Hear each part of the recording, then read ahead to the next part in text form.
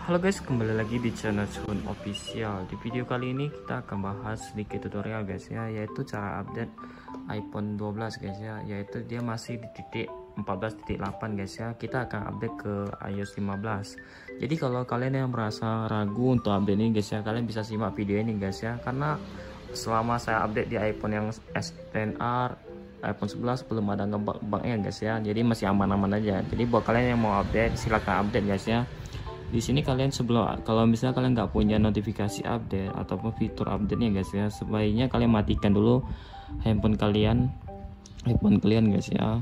Lalu kalian hidupin lagi jangan langsung guys ya. Karena biarin beberapa menit atau 5 menit guys ya. Dua menit pun boleh juga sih.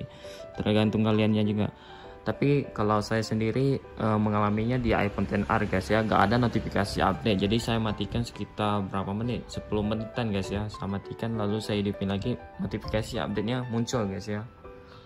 Oke langsung aja kita ke inti video update nya guys ya. Di sini saya gak, gak ngasih tahu fitur apa yang ada di perbarui eh di yang diperbarui ini guys ya. Cuma di sini cara update nya aja ya. saya kasih tahu guys ya. Ini kalian klik umum. Kalau kalian kalau kalian bisa bahasa Inggris namanya general gas aku guys ya. Langsung aja kalian klik perbarui.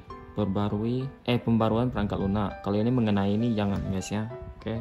Di sini kalian bisa lihat iPhone 12 guys ya. Masih uh, iPhone 12 guys ya. 14.7.71 guys ya. Kita langsung update aja ke perangkat lunak yang ini guys ya.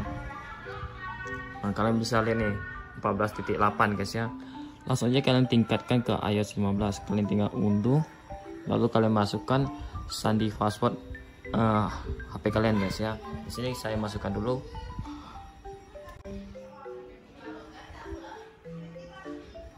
Kalau kalian memasukkan password uh, eh, HP kalian nanti ada muncul syarat dan ketentuan ini guys ya di sini kalian sebelum update ya sebaiknya kalian penting kalian baca dulu guys ya. Silahkan baca ketentuan berikut sebelum menggunakan perangkat iOS Anda. Dengan menggunakan perangkat iOS Anda setuju untuk terikat dengan syarat dan ketentuan iOS. Jika Anda melihat untuk menggunakan iOS iCloud atau layanan media Apple atau keduanya kalian pokoknya kalian baca sendiri lah guys ya. Saya nggak mau baca dulu guys ya. Kalian kagak bisa baca aja lah.